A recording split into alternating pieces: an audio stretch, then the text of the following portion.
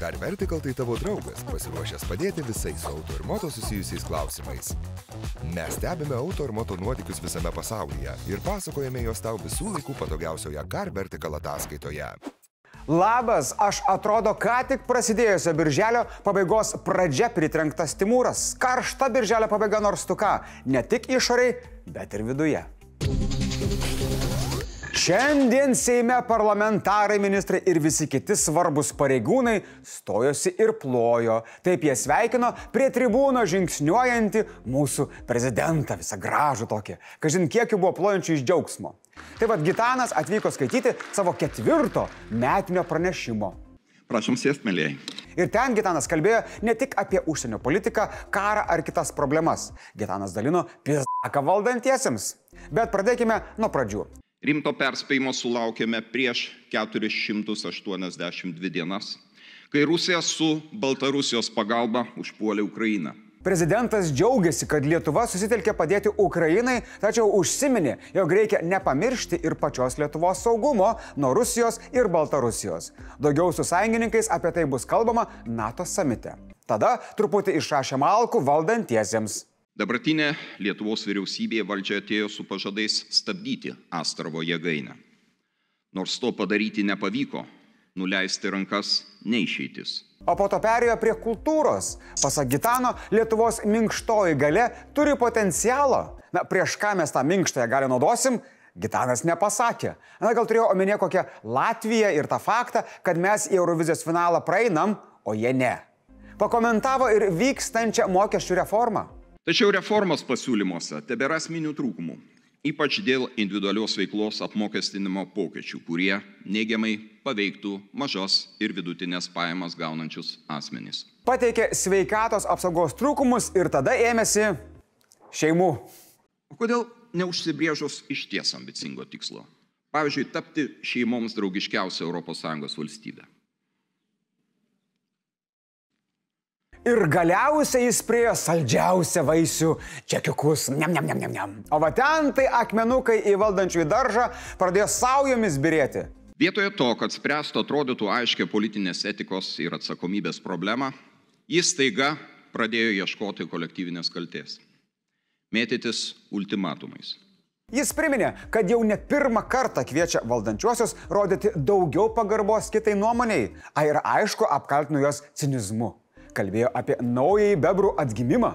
Vėl esame priversti stebėti naujųjų, kad ir kitomis spalvomis pasidabinusių bebrų atgimimą. Savotišką neobebrystės reiškinį. Taip, taip, neobebrystės reiškinys yra naujas terminas. Nėra labai daug kur jį panaudoti, bet va, prezidentas rado vieną būdą. Šaunuolis, už tai turėtų gauti Dianos pliusą, kad ir ką tai galėtų reikšti. Ką pasakė Gitanas, išgirdome. O ką jam atsakė valdantieji ir kiti. Štai eksprezidentė Dalia Grybauskaitė kritiką valdžiai palaiko. Daugelis e, kritiškų pastabų be abejo yra taiklios. O čekikų skandale esančių valdančios daugumos, ypač vadovų sprendimus įvardijo.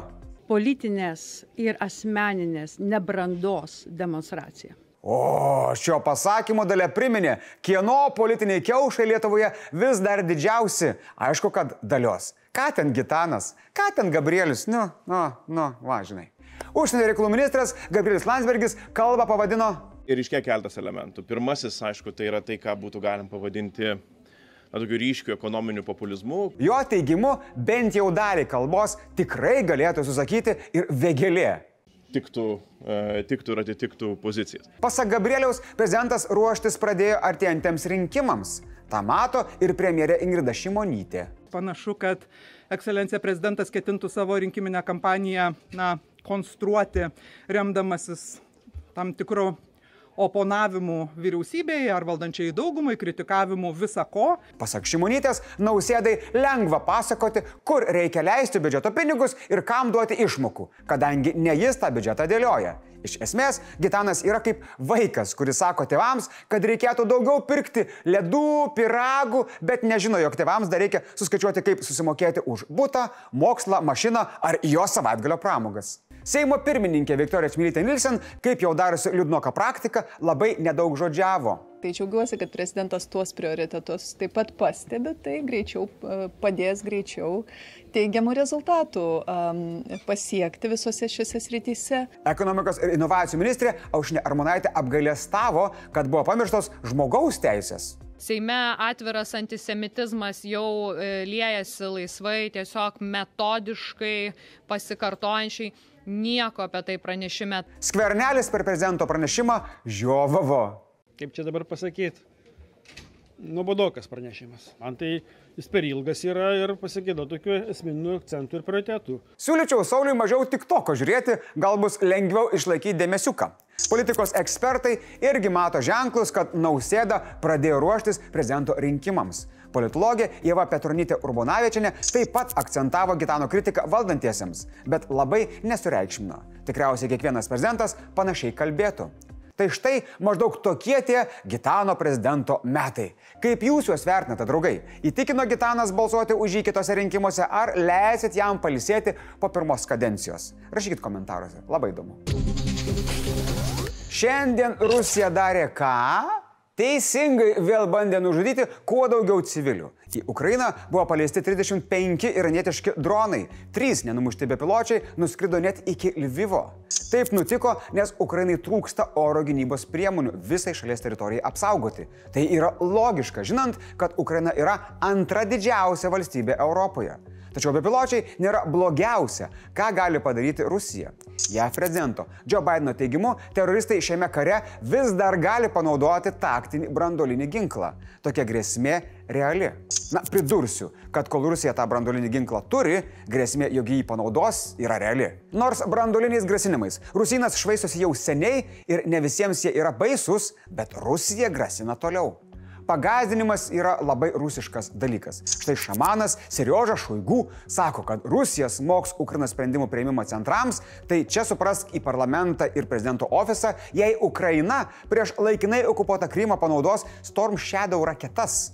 Kad suprastumėt, kaip peršykęs yra Kremlius, tai pagal galę ir šiaip politinį svorį, tai va čia yra dževlinai, čia yra Storm Shadow ir va čia yra brandolinis ginklas. Tai matot skirtumą. Senolis bandė įtikinti, kad Ukrainos pusėsalis yra už kovos veiksmų zonos ribų ir jei jam bus smogta, Rusija tai vertins kaip JAV ir Junktinės karalystės įsitraukimą į karą. Ir tada smogs ne Vašingtonui, ne Londonui, Ukrainai. Išsigandusio gopniko lygio grasinimai, pasakysiu aš jums. Na, man atrodo, kad Šoigu žymiai labiau myli prisivoktus dolerius nei tą savo Rusiją. Šneka šamanas, nes reikia šnekėti. Bet kol kas grasinti kitoms valstybėms Rusija gali tik šnipinėjimo būdu ir tą daro vis agresyviau. Tai reiškia, kad putkos pabaigos pradžia jau gerai įsivažiavo. Visi, kas taupo pinigus, žino, kas yra Titanikas šventojoje, o visi, kas turi pinigų filmams, žino, kas yra Titanikas Atlanto vandenynų dugne. Tai laivas, kuriame praščiokas Džekas į kairę nuviliojo turtuolę Rose ir tada galimai dėl šios nuodėmės paskandino visą naujų telaitį laivą. Nu tai ačiū Rose, ačiū labai. Tačiau šiuolaikiniai kartai Titanikas asocijuosi su dar viena nelaimė. Atlanto vandeninė sekmadienį dingo povandeninis laivas Titanas, kuriuo turistai buvo plukdomi apžiūrėti Titaniko nuolaužų. Ir šis su jais nutrūko po panirimo praėjus vienai valandai kem penkioms minutėms. Manoma, kad laive yra buvęs Prancūzijos karinio jūrų laivyno vadas, giluminis naras ir povandeninių laivo pilotas Polas Henry Nargel. Pakistanietis verslininkas Šahzada Davudas ir jo sūnus Suleimanas, taip pat britų verslininkas Hamišas Hardingas, žinomas aviatorius ir tyrinėtojas. Gali būti, kad Titanas patyrė elektros arba ryšio problemų, iškilo į paviršių ir plūduriuoja, arba buvo pažeistas slėgio korpusas ir įvyko nuotėkis. Vykdomos inirtingos paieškos, nes laikas šiuo atveju yra priešas.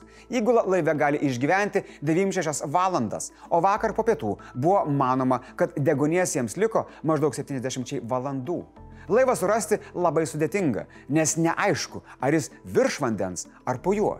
Jei laivas dugne, tada bėda. Nors jis vis dar gali būti nepažįstas, jei jis yra už kontinentinio šelfo, tai blogai. Yra labai nedaug gelbėjimo laivų, galinčių patekti į tokį gilį. Panirimas iki Titaniko nuolaužų kainuoja apie 250 tūkstančių JAV dolerių. Pramoga trunka 8 valandas. Nuolaužos yra maždaug 3800 metrų gylyje ir maždaug už 600 km nuo Newfoundlando krantų. Na, istorijos moralas. Nežinau, neklauskit, man dabar aktyvavosi visa klaustrofobija. Uf. Čekiukų skandalui krečiant politinį elitą, konservatoriai sušūkė partijos priežiūros komitetą, kad nuspręstų, kas laukia pinigus iš savivaldybių vogusių partiečių. Politinis galvų kapojimas ir kraujo nuleidimas prasidėjo. Konservatoriai iš partijos pašalino Lina Rimkienę. Nebendradarbiavo su priežiūros komitetu, nepriemė sprendimo grįžinti lėšų, nesusistabdė narystės. Ji pusiai metų buvo išvykusi į Kiprą, bet pateikė didelės sąskaitas už internetą. Taip pat buvo sąskaitos dėl automobilio techninės priežiūros ir valymo su jo pačia susijusioje įmonėje. Partija sustabdė narystės trims nariams - druskininkų savivaldybės nariui Konstantinui Račkovui ir dviems Alitaus rajono tarybos nariams - Danieliui Jakubavičiui bei jo sutoktiniai Juratijai Overaitytei Jakubavičianiai mūsų neįtikino, kad tai buvo tikrai naudojama e, sažiningai ir skaidriai. Rečkovas paaiškino lėšas, bet kadangi neturi teisių, o pilėsi kūrą, neįtikino komiteto. Įspėjimai pateikti dviems konservatoriams. O jeigu dar yra partiečių su svylančia uodega, jie turėtų priimti sprendimus. Arba stabdyti narystę, arba atiduoti tą dalį lėšų, kurių negali pateisinti. Dėl Kauno miesto ir rajono partija lauks teisėsaugos institucijų išvadų, nes ten kyla klausimų, ar ne pati savivaldybė elgesi netinkamai. Vadinasi, Šiugždinienė ir Skaistė dar nepaleistos nuo kabliuko. Po narystės sustabdymo ekspartiečiams uždrausta būti kandidatais artimiausiose Seimo, savivaldos, Europos parlamento ir prezidento rinkimuose. Narystę savo norų suspendavo sostinės tarybos narys Gediminas Švilpa bei buvusi mažiaikio tarybos narė Genoveita Gricienė. Nuva. Blitz naujienos. SAT pranešė, kad po pateiktų skundų pradėjo krapštyti Vilniaus savivaldybę. Aiškintis teks dabartiniai Vilniaus rajono vicemeriai Editai Tamušūnaitai. Dėl kūro pilimo Nijoliai Jėgelavičianiai, dėl automobilio nuomos iš savo įmonės Gediminui Jauniui, o dėl reprezentacinių išlaidų atostogų metu buvusiam merui Remigijui Šimašiui. Estijos parlamentas pritarė šeimos teisės įstatymo pakeitimams ir taip įteisino tos pačios lyties asmenų santokas. Premjerė Kaja Kalas sakė, kad tai sprendimas, kuris nieko iš nieko neatima, bet daugeliu žmonių suteikia kai ką labai svarbaus. Įstatymas įsigalios nuo 2024 metų. Na, panašu, kad estų lietumas išlieka tik pasenusiuose anegdotuose. Per NATO sametą Liepa keturios didžiosios Vilniaus ir Kauno ligonės bus pasirengusios gydyti susitikimo dalyvius. Bet Sveikatos ministerija ramina, kad dėl to gyventojams planinių paslaugų ar skubios pagalbos paslaugų teikimas ribojamas nebus. Vis dėlto pacientai raginami atidžiau planuotis atvykimo laiką ir atsižvelgti į eismo ribojimus. Arba aš jums patarčiau taip, važiuodami į priimamąjį, užsivilkite kostiumą ir kalbėkite nesuprantamą kalbą padės.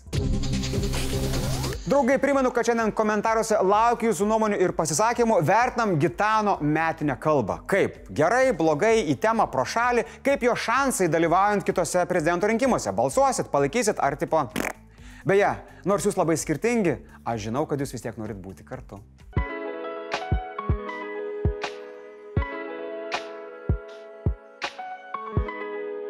Komentarų apžvalga. Vakar mūsų žiūrovas Vytas papasakojo apie tai, kaip Eglė, pati to nežinodama, prisideda prie kovos su klimato atšilimu. Tuo tarpu Blue Sky sako, kad jam pamačius Eglę pasidaro dar karščiau. Tai nesuprantu, ar kovoja su to klimato atšilimu, ar nelabai. Čia kaip ir ant nulio matyti išeina. Vyrai, kaip čia Eglė nulis tipo? Nesąmonė. Šiandien tiek žinių. Iki.